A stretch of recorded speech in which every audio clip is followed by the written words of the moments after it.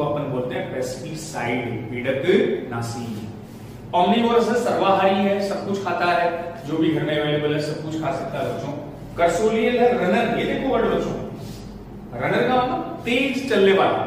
जब आप कॉकरोच को देखोगे तो इसे भागते हुए से दिखेंगे अपन को। इसके लिए भी रीजन है कि बच्चों, वैसे तो ये इंसेक्ट होता है, कीट होता है। कीट आपको याद आ गए अर्थ पर मैक्सिमम स्पीसीज सबसे ज़्यादा पृथ्वी पर किसकी जातियाँ हैं? कीटों की। और कीट का बच्चों यूनिक कैरेक्टर क्या था? थ्री पेयर्ड लेग तीन जोड़ी टांगे, ना कि पंख। याद आए ना? हालाँकि इसमें विंग्स होते हैं, पंख होते हैं बट बच्चों विंग्स ज़्यादा डेवलप नहीं होते, उनकी मसल्स ज़्यादा डेवलप नहीं होती। तो कॉकरोच में लंबी उड़ान की कैपेसिटी नहीं होती।